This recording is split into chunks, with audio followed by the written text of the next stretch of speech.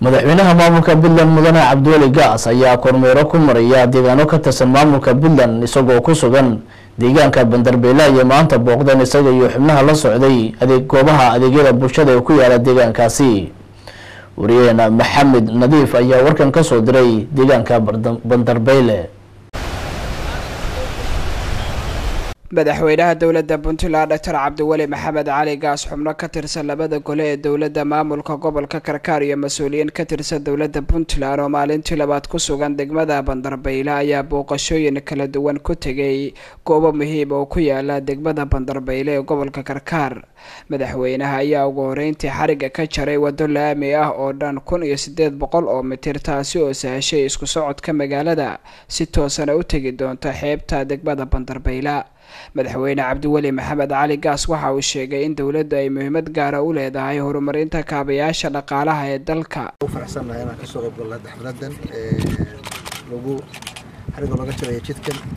Runtii jidka markaan soo qaadno buurta ka imanayo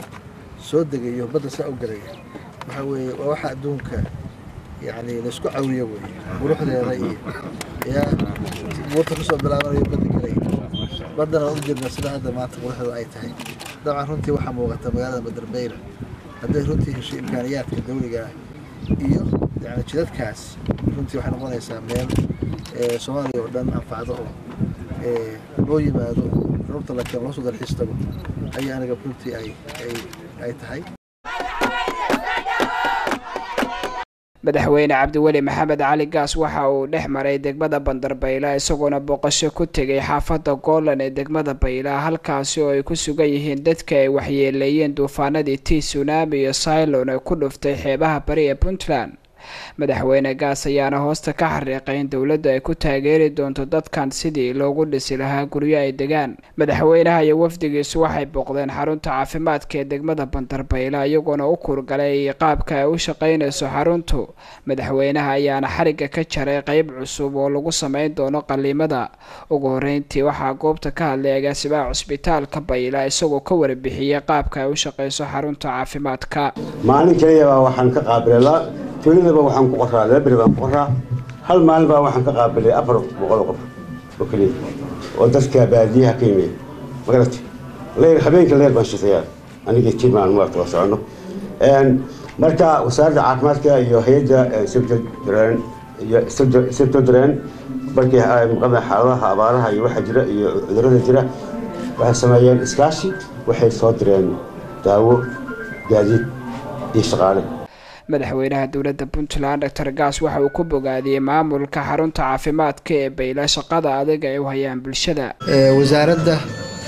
caafimaadka iyo maamulka degmada iyo wasaaradaha runtii maamulka isbitaalka shaqada fiican runtii aada meesha ka haysaan. Sida dee qof walba waqiraya waxaa muuqata shaqo wanaagsan meesha ka socoto sida wasiirku hadda sheegayay dee waxay og tahay meel helad center de caalamiya weeye siday muuqato degmadu. Waana waa wax wanaagsan oo lagu farxo weeye. Dee guul baan idin rajaynayaa iyo shaqo wanaagsan. Madaxweynaha iyo wafdigiisu ugu dambeyntii waxay xarunta dowladda hoose ee baylo kulan kula qaateen qeybaha kala duwan ee bulshada iyadoona kulankaasi ay dibadjoog ka ahaayeen warbaahintu waxaana intiisa badan diiradda lagu saaray sidii looga wada tashan lahaa baahiyaha ka jira degmada bandarbayla madaxweyne gaas ayaa maalmaha soo socda la filayaa inuu booqdo deegaanada ay ku soo hayaameen dadka ay saameeyeen abaaruhu ee ka soo hayaamay deegaanada kala duwan ee soomaalida. Maxamuud nadiif shire calson t v bayla